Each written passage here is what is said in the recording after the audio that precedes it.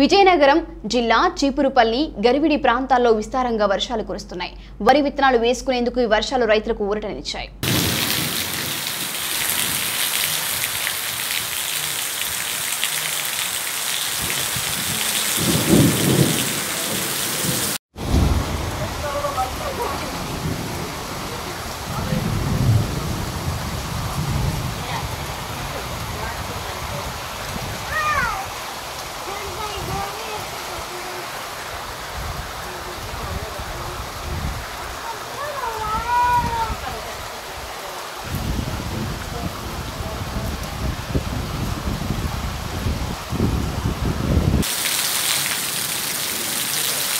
Thank you.